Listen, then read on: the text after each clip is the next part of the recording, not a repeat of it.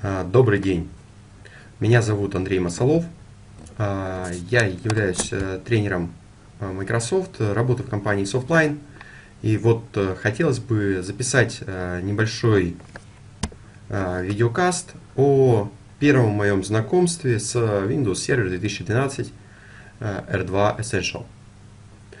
На самом деле с данным продуктом я до этого не работал, и мне хотелось бы просто э, изучить его какие-то особенности, функциональную работу. Э, ну и делать мне хотелось бы это вот прямо на живом примере, э, непосредственно начав с его инсталляции. То есть мы сейчас вот в этом докладе инсталируем Windows Server 2012 R2 Essential, посмотрим какую-то базовую функциональность, которая в нем доступна, ну и попробуем э, сделать, может быть, какие-то первые э, настройки, чтобы можно было уже непосредственно данный сервер э, эксплуатировать. Ну что ж, начнем мы все со старта виртуальной машины, которую я только что подготовил. Виртуальная машина совершенно с чистым жестким диском. К ней уже подключен ISO-образ, который я скачал вчера. Вся виртуальная среда находится в Windows Server 2012 R2 в гипервизоре на моем ноутбуке. А, поэтому, может быть, э, производительность данного, а, данной виртуальной машины будет оставлять желать лучшего. Но я постарался выделить как можно больше оперативной памяти. А, ну и, соответственно, отдельный жесткий диск для работы данной виртуальной машины. Что ж, давайте посмотрим.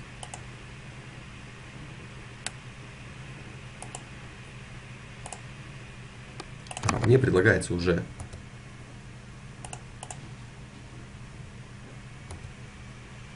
запуститься. Ага, видимо, я тут уже пропустил момент. Давайте попробуем перезагрузить виртуальную машину. Сейчас вот я нажал. А, загрузка пошла непосредственно уже с, с ISO образа.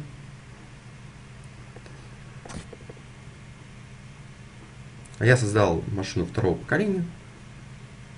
И вот э, установщик уже, в принципе, достаточно нам знакомый, предлагающий установить Windows Server 2012 R2. О том, что это Essential какая-то версия, мы даже пока не подозреваем. То есть пошел процесс инсталляции. Сейчас посмотрим, что будет дальше. Угу. Мне предлагается э, ввести ключ. Предлагается принять лицензионное соглашение. Мы его принимаем. Это будет у нас а, выборочная установка а, на диске, соответственно, вот 127 гигабайт для виртуальной машины я выделил жесткий диск.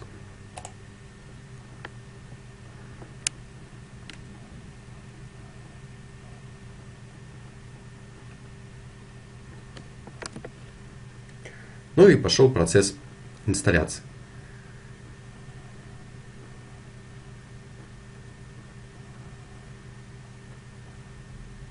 Ну, я так думаю, что э, мы на этом моменте прервемся и продолжим уже непосредственно после окончания данного процесса инсталляции.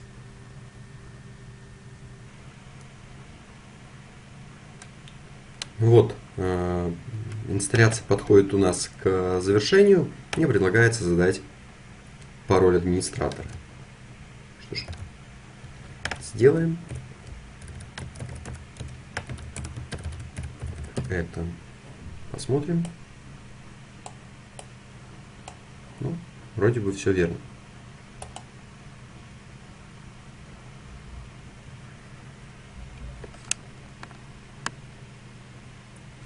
Необходимо будет, наверное, еще немножко подождать до того, как появится пользовательский интерфейс, и мы сможем уже посмотреть, какие возможности реализованы в данной версии операционной системы.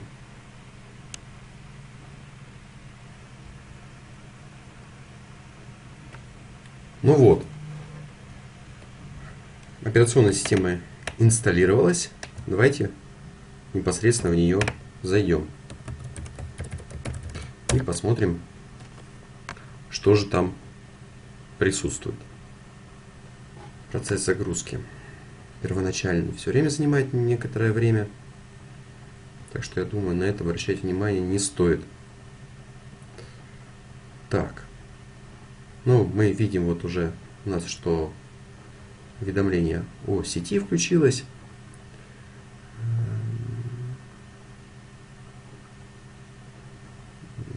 Да, я согласен, чтобы искали какие-то другие устройства в данной сети. Сеть я подключил внешнюю, чтобы у вновь установленного а, сервера был доступ а, в интернет. Открывается окошко Windows PowerShell. Сейчас посмотрим, что будет в нем происходить. Из интересного я вижу слева панель мониторинга. Есть у нас э, внизу нету диспетчера сервера, есть только панель мониторинга. Так, окошко с Windows PowerShell закрылось. Интересно. Ну, давайте запустим панель мониторинга. Что же это такое? Ага.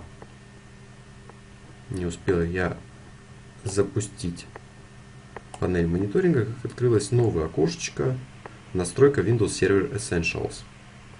Ну, давайте подождем. Что будет? Вот сейчас написано, что идет проверка конфигурации вашей системы. Хочу еще раз напомнить, что с данным продуктом я не знаком и изучаю его прямо сейчас вот в процессе инсталляции.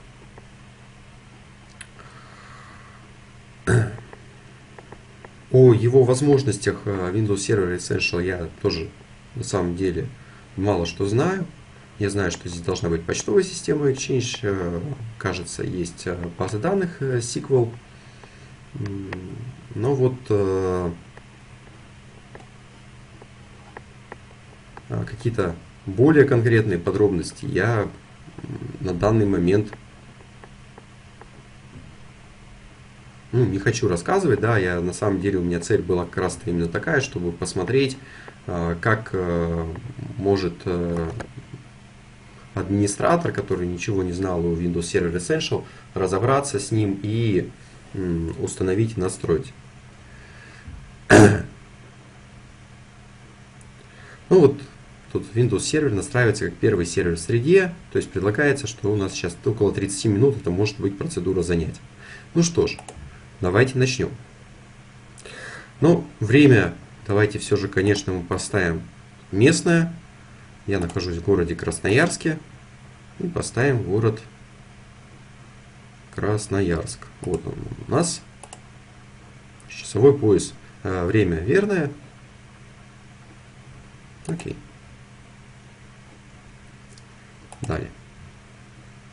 Сведения об организации. Угу. Предлагается ввести имя организации. Ну что ж, давайте воспользуемся стандартным именем Microsoft.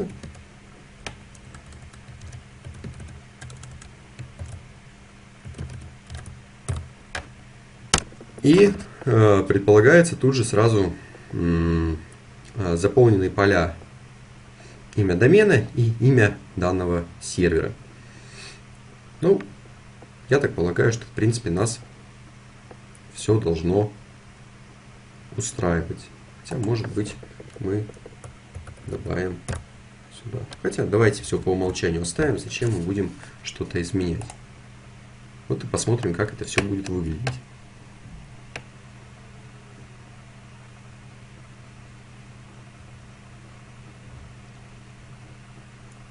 То есть сейчас, я так полагаю, имя учетной записи администратора.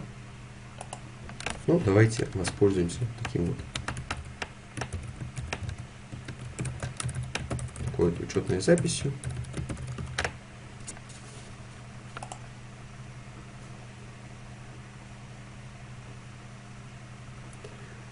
То есть с этой учетной записью написано, что мы будем выполнять задачи управления сервером. Хорошо, параметры обновления. Рекомендуемые параметры, естественно, воспользуемся. Ага. Кнопка «Далее» не активна. Ну что ж, это, видимо, последний шаг. И нажимаем кнопочку «Настроить».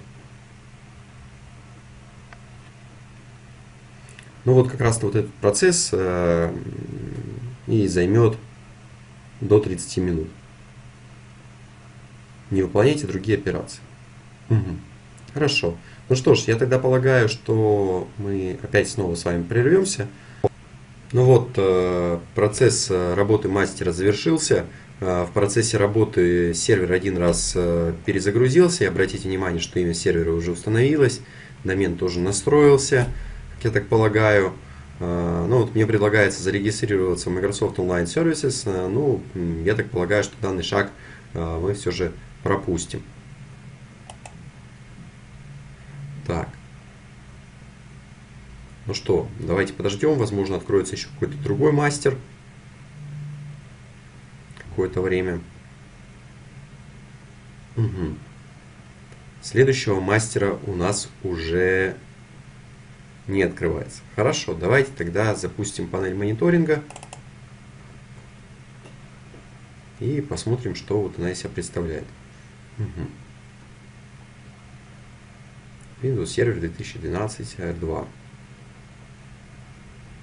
Угу. Пока ни, ничто не говорит о том, что это Essential.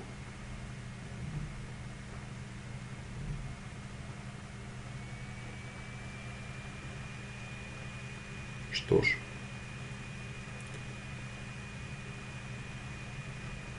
Ясно. То есть у нас получается, что здесь э, некий, некий аналог э, сервер менеджера угу. с уведомлениями. Давайте посмотрим, что это за уведомление. Предупреждающее оповещение. Угу одна или несколько папок сервера расположены на системном жестком диске. Но я так полагаю, что это для нас является не очень критичным. Ну что, давайте вот мне предлагается на самом деле сделать установку. Я так полагаю, что в процессе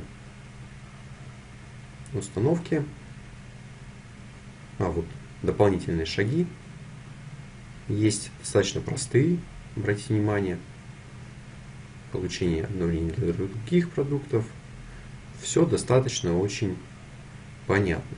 Ну, давайте получение обновлений сделаем.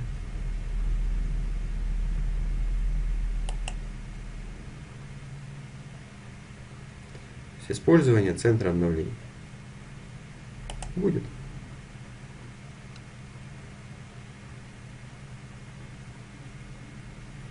Так.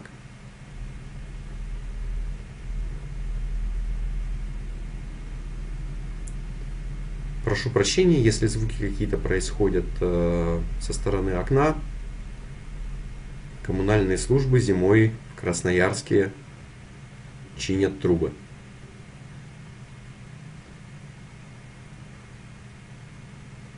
Так, ну что-то общее. Изменить, установить обновление. Ну ладно, хорошо. Я так полагаю, что первый а, пункт я выбрал. Добавление учетных записей пользователей. Ну, давайте добавим учетную запись. Ну, наверное, как минимум первым пользователем буду, собственно, сам я. Окошечко достаточно простое. Ну, давайте я заполню. Андрей Масолов. Имя учетной а, записи. Ага, с каким я логином буду заходить. Ну, давайте не будем слишком оригинальными.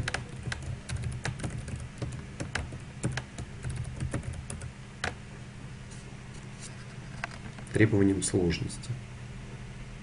Уровень доступа. Ну, сразу видно, да, обычный пользователь, либо администратор я хочу создать.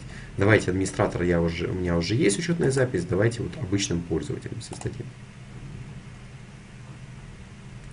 Ага, Уровень доступа к общим папкам.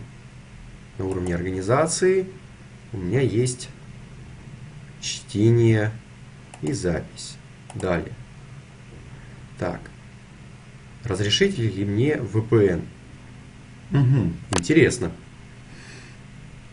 Удаленный э, веб-доступ и доступ к приложениям веб-служб. Интересно. Выбранный ссылка, доступ. Ну что ж, хорошо. Я пока это все настрою. Веб-сервер, ага. То есть для того, чтобы подключиться к компьютеру изнутри, изнаружи, мне понадобится вот этот URL. Хорошо, давайте его а, запомним и будем использовать в дальнейшем.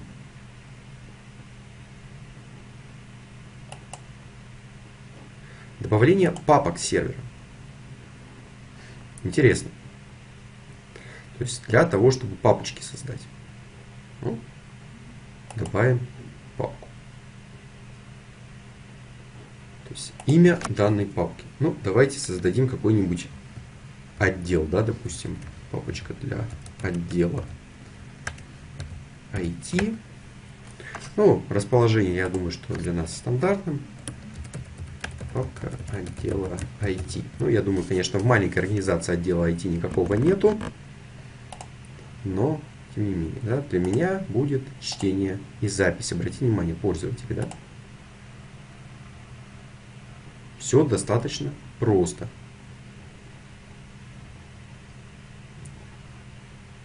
А, мастер архивации. Ну, мастер архивации, я думаю, что мы сейчас запускать не будем. Я думаю, что в следующих шагах это можно будет как-то настроить.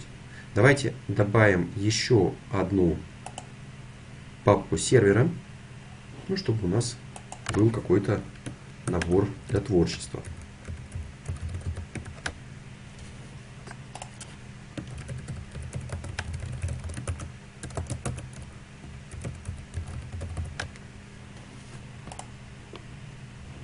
Ну, только чтение.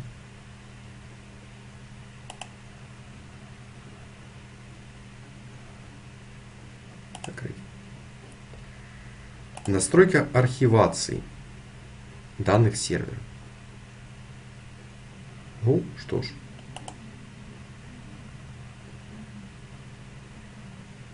Посмотрим, что здесь э, возможно. Я так полагаю, что этот шаг я все же пропущу по одной простой причине, что, э, собственно, э, пока задача с архивацией стоит не особо актуально, но вот э, возможность э, весьма интересная. Пожалуйста, да, то есть выбрать э, диск назначения, архивируемое расписание. Ну, давайте мы это все тогда пропустим. Пропустить эту задачу. Повсеместный доступ. Интересно.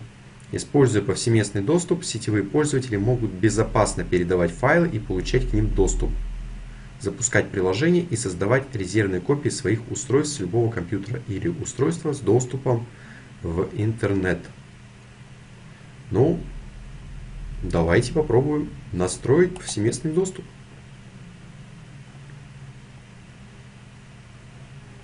А, у меня, в принципе, дома, где я сейчас нахожусь, а, белый IP-адрес, а, поэтому мы можем даже пытаться проэкспериментировать. Этот мастер помогает настроить для сервера маршрутизатор, конфигурацию имени дома, платформу веб-службы, доступ через сеть VPN и удаленный веб-доступ. Ну, давайте тогда мы вот этот мастер все же, я так полагаю, весьма сложный, ну и на первоначальном этапе он нам не нужен. Давайте пропустим. Я думаю, что к этому всему можно будет э, вернуться. Э, настроить параметры отчета о работоспособности. Ну что ж отчеты, это, наверное, важно. Расписание и электронная почта. Ежедневно, ну, давайте, да, ежедневно и отправителя. Интересно. Интересно. Ну что ж, давайте пока зададим какой-то а, примерный да, адрес. Допустим, наш а, сервер сервер собачка datum.com а, имя SMTP сервера угу. а вот это вот datum сервер Да, действительно нужен имя пользователя сервер, даже э, датум сервер, пароль. Ну, я так полагаю, что это все так не критично на данный момент, но вот кому же мы будем отправлять почту, отправлять, естественно, будем мы мне.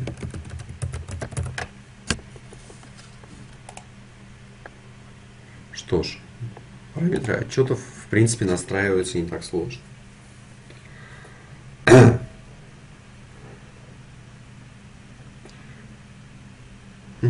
Настройка службы восстановления клиента. Интересно. По умолчанию на сервере создаются резервные копии для всех клиентских компьютеров, подключенных к серверу. Если клиентский компьютер становится недоступным, ему можно восстановить с помощью службы восстановления клиента. Также вы можете создать загрузочный USB-ключ в разделе «Задание архивации клиентских» компьютеров на вкладке «Устройство». Угу. Все очень интересно. То есть мы клиентов еще можем архивировать. Но давайте этот шаг по поводу архивации все же клиентов мы пропустим. Ну и последний шаг подключения компьютеров. Ну давайте, наверное, все равно пропустим. Да, хотя вот на самом деле обратите внимание, что есть вот даже адрес, да, к серверу, к которому мы можем обратиться и, в общем-то, пользоваться, да, вот тут вот, вот, connect, ну, нужно, необходимо будет запомнить. Давайте мы прямо на самом деле сейчас в Internet Explorer посмотрим, что же оно из себя представляет, потому что на данный этап мне уже становится очень интересно, что же там находится в этом Adatum сервер коннекте использовать рекомендуемые параметры. HTTP, HTTP или HTTPS. HTTP. А датум сервер connect.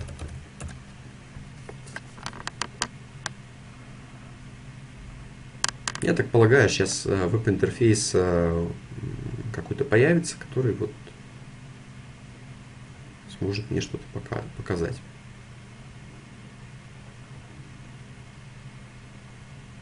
Тут мне предлагается выключить. Ну, давайте, наверное, выключим э, усиленную безопасность.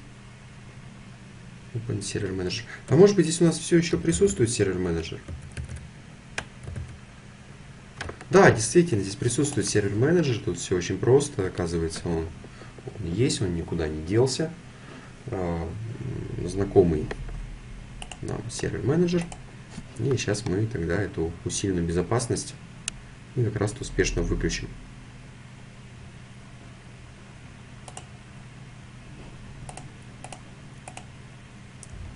И попробуем заново.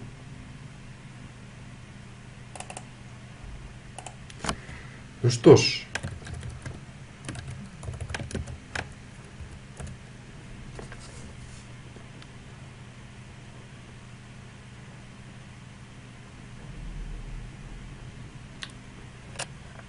уже недостаточно нетривиальный момент, да, о том, что нужно было выключить.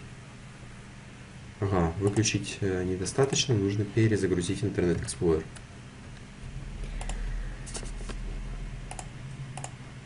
О, вот сейчас все должно быть очень даже хорошо.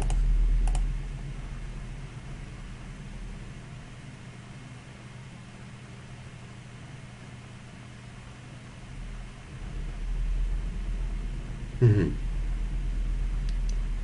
Для подключения к серверу другого компьютера перейдите на другом компьютере и нажмите эту кнопочку. Хорошо, ладно. Э, закроем. Тогда диспетчер серверов тоже свернем. Пропустить эту задачу.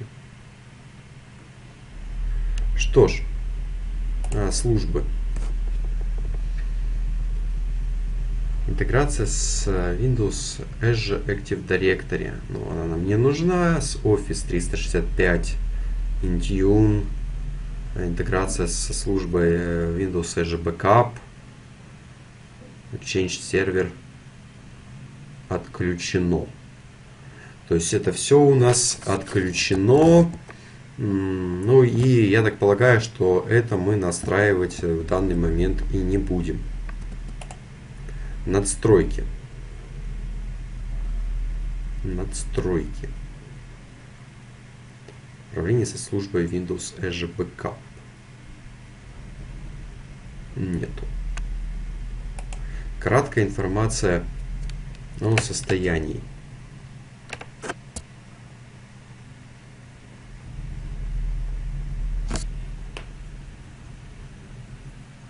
Угу. Это тоже у нас пока не интересно. Справка. То есть я так полагаю, что доступ к Change у нас только из онлайн службы Exchange.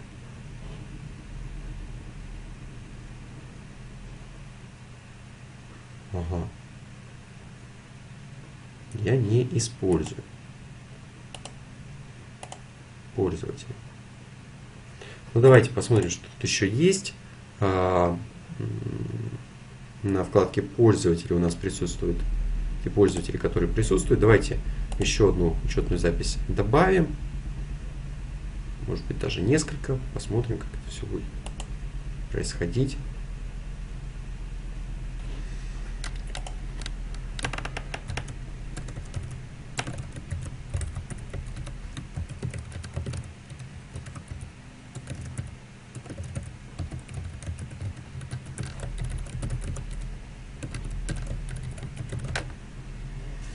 Обычный пользователь, да? Обратите внимание, да, вот организации у него нету доступа. К организации чтения и запись. К IT у нее нету доступа. Стать учетную запись.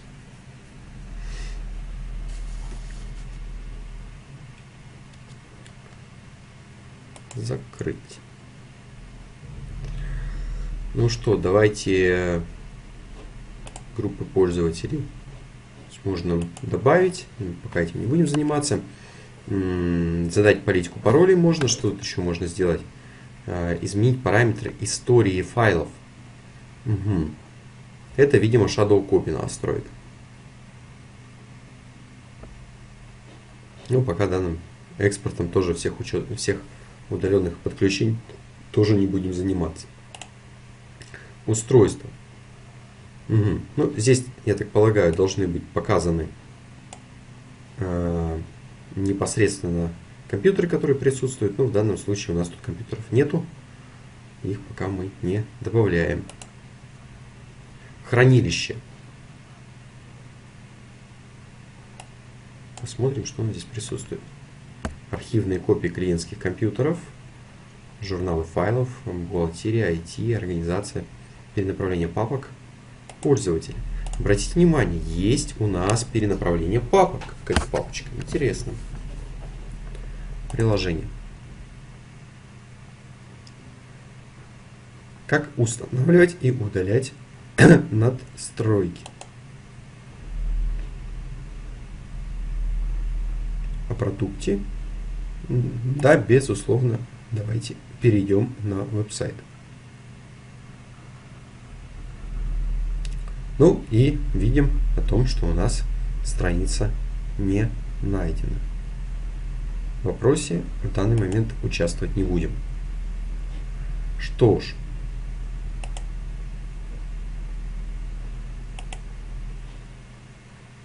я так полагаю, первоначальную настройку мы уже весьма и весьма произвели.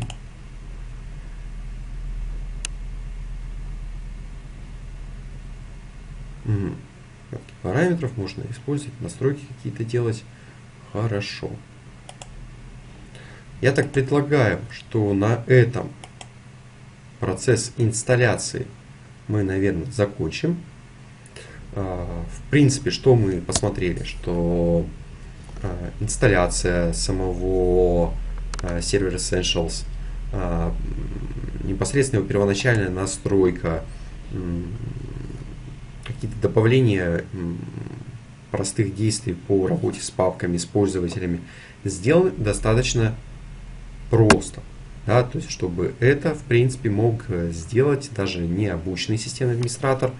И, в принципе, я так полагаю, что очень интересное решение для а, малого бизнеса. А, я думаю, что это не последний мой доклад а, по Windows Server 2012 R2 Essential. А, в дальнейших докладах я постараюсь все же а, описать больше возможностей а, Windows сервера, показать какие-то способы настройки, все то, что вот не удалось показать сегодня. Так что до новых встреч, коллеги. Спасибо за внимание.